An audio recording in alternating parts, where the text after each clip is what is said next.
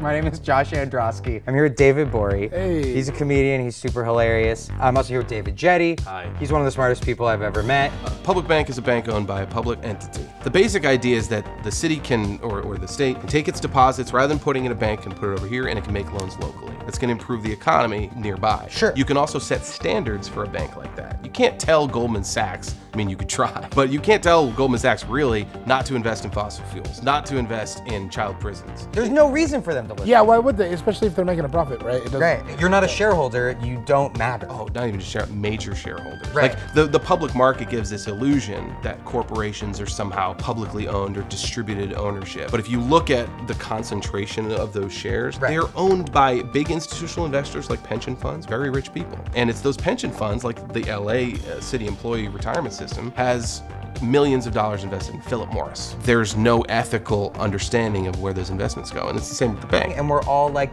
wow, it really sucks that all this bad is happening, and yet we are subsidizing it. Yeah, we're paying for it to happen. Right. Now, if you build an institution that has a mission basis, even the most paltry mission, like make loans in Los Angeles, you necessarily cut out a bunch of evil stuff and you focus it in on something that matters to the bank more than profit. But more importantly, you can set limits on, say, it has to reverse climate change with every loan, it has to lower rents by making loans in these ways, right? It can devise programs that create opportunities and raise wages and lower income and wealth inequality, uh, lead to prison reform, right? By cutting off bank funding for private prisons, you make it less profitable to put people in jail.